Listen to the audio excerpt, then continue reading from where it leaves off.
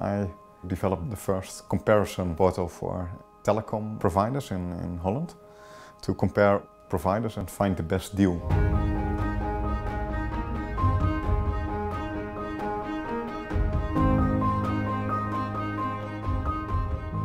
I uh, started Bencom at the age of 13 as a school assignment.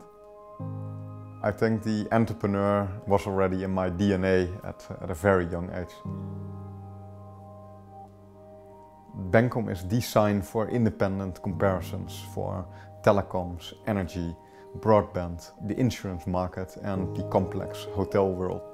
What is important for us is that we induce competition among providers and we realize this by having top five rankings and for Bencom it's important to stay independent and to have our logos protected.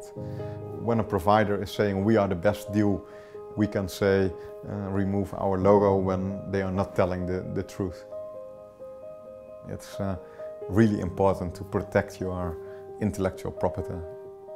It's important that we protect our brand names, that no one else can misuse the position they have at, at our rankings. In the online uh, business, of course, you work with your own development team, with the intellectual property rights you, you have as an employer.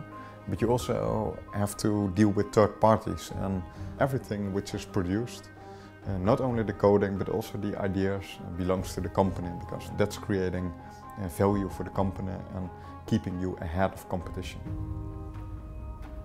I can have ideas all day long. I see opportunities everywhere. It's not about the idea, it's about the successful realization uh, of that idea.